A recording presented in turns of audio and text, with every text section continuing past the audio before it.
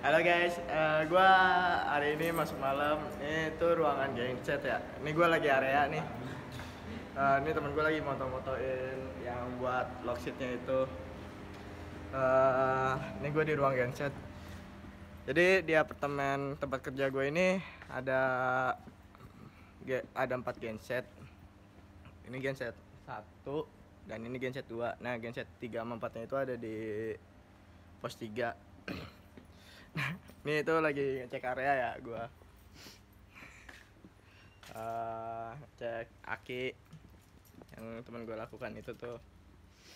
Terus eh ini solarnya. Solar buat gensetnya. Nah setelah gua ngecek genset itu gua selanjutnya ke ta, ke ruangan RWT eh masker gua nggak bawa lagi. Masker. Oh ya guys gua pakai masker dulu bentar. Jadi tuh sekarang kerja harus pakai masker ya?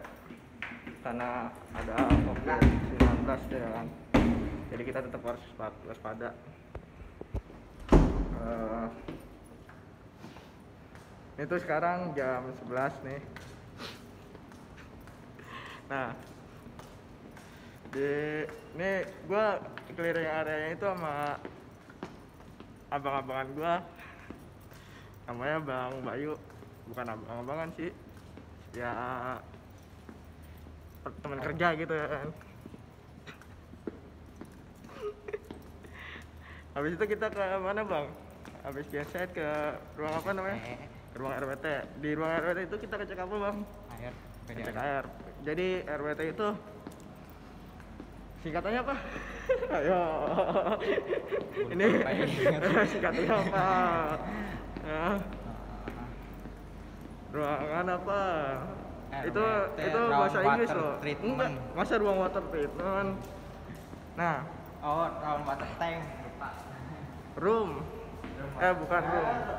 Ya semacam itulah ya kan. Jadi RWT itu eh air yang dari PDAM itu masuk ke ruangan ini dulu ya. Ini cuman di sini tuh gue cuma ngeliat keadaan airnya aja penuh apa enggak. Nih kayak gini nih. Oh. Ini airnya penuh nih. Airnya penuh. Nah. Dari ruang RWT itu kita ke mana lagi? Ruang hidran ya? Ya, dari ruang RWT kita ke ruang hidran. Oke, nanti dulu Cuman sebelum sebelum ruang hidran tuh kita harus matiin AC. Ini kan area malam gitu. Eh, kenapa sih harus dicekin ruang hidran? Ya jadi biar ini ini kita cek area namanya juga ya kita cek lah semua area ya. kan. Mumpung lagi ada tenan juga. Ini kita matiin AC dulu.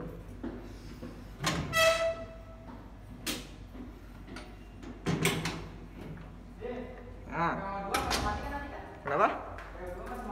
P2 mana? AC. Hah? LCB mana? Hidup semua. Nah, ini sekarang tuh di ruang hidran nih kita. Nah, itu dia nih ruang hidran. Tuh, hidran ya. Bisa karena ini tuh fungsinya untuk kalau ada kebakaran ya Bang Gue.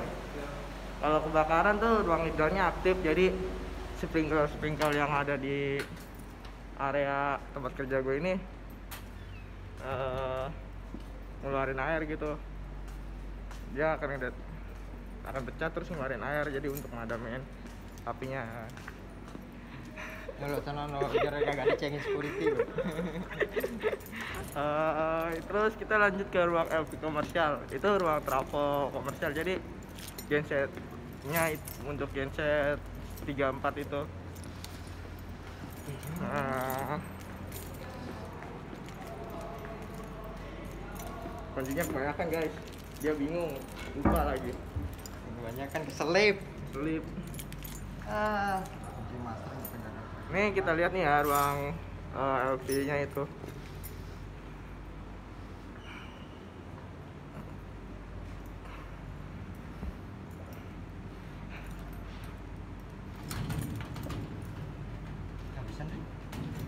Wah ini mau diomelin subscriber gue ini. Lama. Kenapa kuncinya gak ada? Mau ngapain? Tadi ke mana kuncinya? Sambil nunggu dia kita matiin AC nya dulu nih ya kan?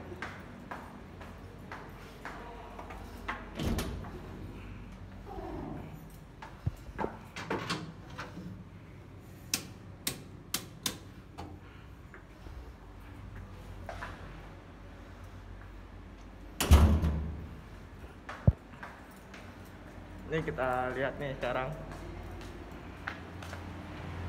Nah itu dia tuh. Ruang trafo tuh kabel gedean. Ini kapasitas trafo komersial itu 630 kPa kilovolt ampere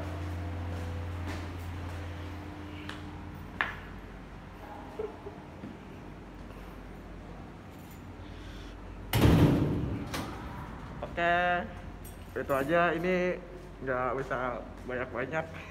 Bye